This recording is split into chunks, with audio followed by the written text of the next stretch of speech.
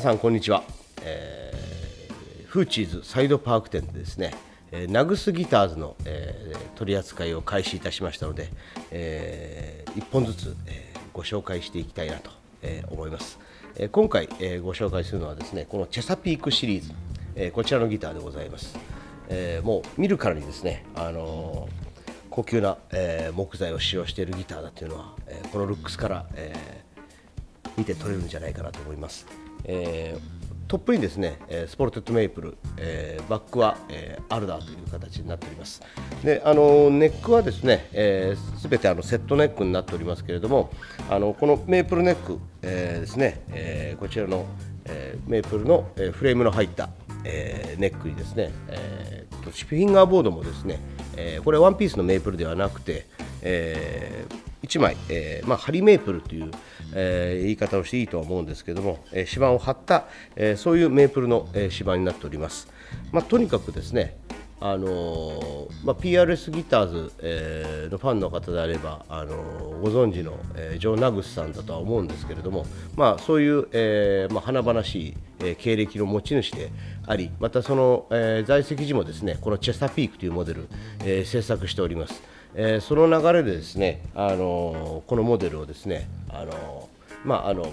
PRS の時の、えー、モデルを、えー、見たことある方もいらっしゃると思うんですけどこちらの方はもうナグスギターズになってからのチェサピーク、えー、モデルになっております。とにかく、えー、パッと見た感じですねあの非常にモダンな、えー、作りにはなっていると思います。あのこのカービングですねあの削ってある落とし方が結構大胆にですね、えー、裏のこのコンター部分もですねかなりの距離こう落としてありますで非常にまあデザイン性にあの優れておりますのでそのプレイアビリティも含めた、えー、で、まあ、このネックの、えー、ジョイントップとかですねこうやって見ていただけると分かりますと結構こう落ちてです、ハイポジション引きやすくなってたり、えー、しております。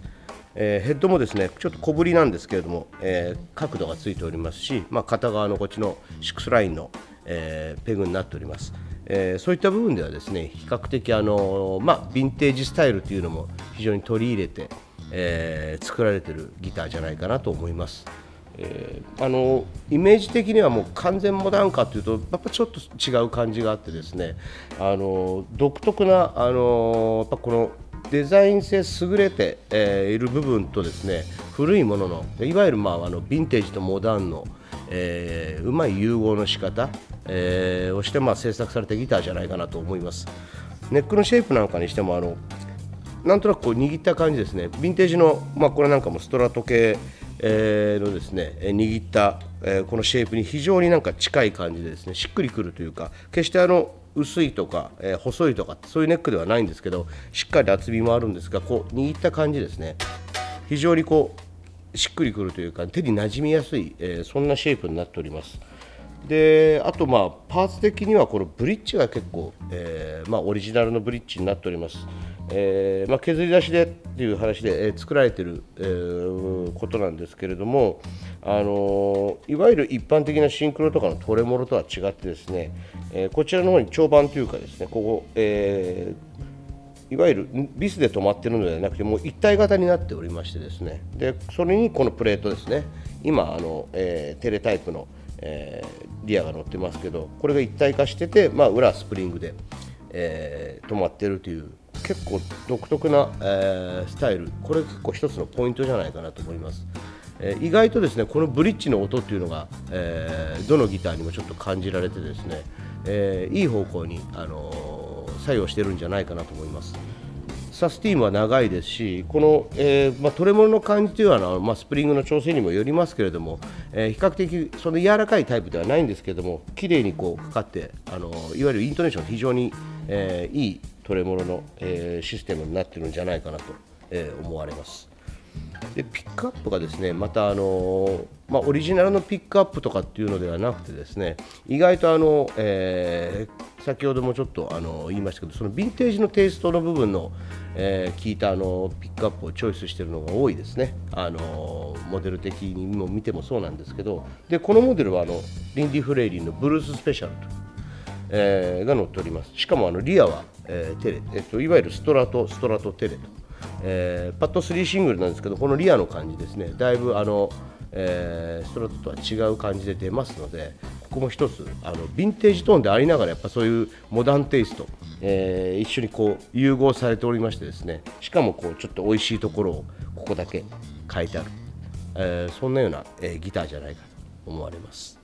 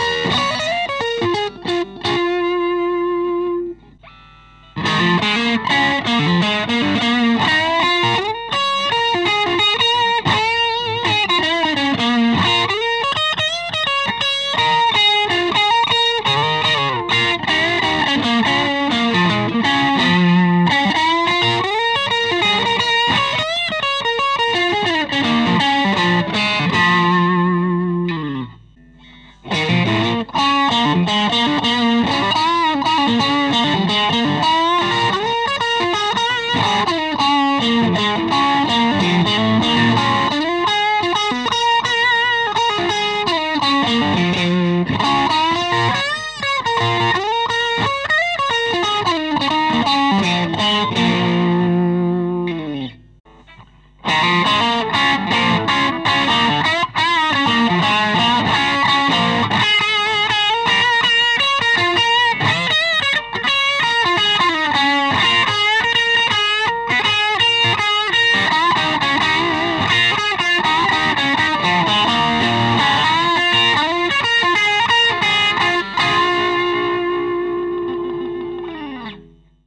あとはあれですね、えっと、生の音もですね。結構。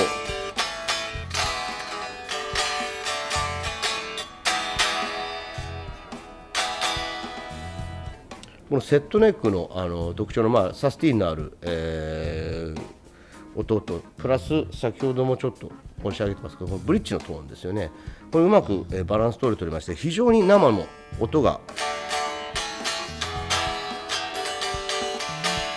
全体的にボディの鳴りがですね非常にこう、えー、体に伝わってくる、えー、感じでございます。で単純にアンプ、えー、つながずにこう弾いた時でもですねもう全部の弦のこう鳴りというかですねそれがしっかり聞き取れる、えー、いう部分を見てもですね非常にバランス生音のバランスも取れた、えー、作りになっております。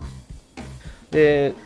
えっと、ペグもですねこのいわゆるトレモロの、えー、ついてるものに関しては、えー、ロックタイプですね、えー、後藤のロックタイプのものがちょっとこうついておりますので。であのトレモロないものに関しては普通の、えー、いわゆるクルソンタイプというか、えー、のが、えー、モデルでよって載っております。でこのチェサピークシリーズなんですけどもこちらのモデル、えー、そのシリーズの中でセバーンというモデルでございます。えー、まあいろいろあのグレードがありましてですね、あのまあ、木材あのネックに関してもですね、えー、フレームの入っているものさらにもっといいもの、えー、逆に、えーと、もっとシンプルにですね、えーと、木のちょっと少ない、え、ものと、え、グレードはいろいろあのモデルによって、え、変わってきます。であと特徴的なのがあのピックガードはこれウッドのものを使っておりましてですね、えー、こちらメープルを、えー、使ってますけれども、えー、他のモデルはウェッジ使ってたりとかですね、えーとまあ、いわゆるそういうハードウッドですね、えー、そういうものをちょっと使ってあのピックガードも、えー、制作しているのが、まあ、こだわりの一つかなと、えー、思います。で表材、えー、にしてもですね何にしてもこのデザインにしてもカービングあとこういう、まあ、ピックガード、えー、トレモロ、えー、とにかくですねこだわりがあの非常に全体的に感じられる、え、そんなギターじゃないかなと思います。あのぜひですね、え、試していただけるとですね非常に良さが分かると思います。あの決してモダンだけではない部分えー、かといってそのヴィンテージトーンをリスペクトしながらもやはりあの現代的な、えー、仕上がりになっているというそこのバランスの取れたこのギターですね、えー、ナグスギターぜひ、えー、お試しいただければなと思います。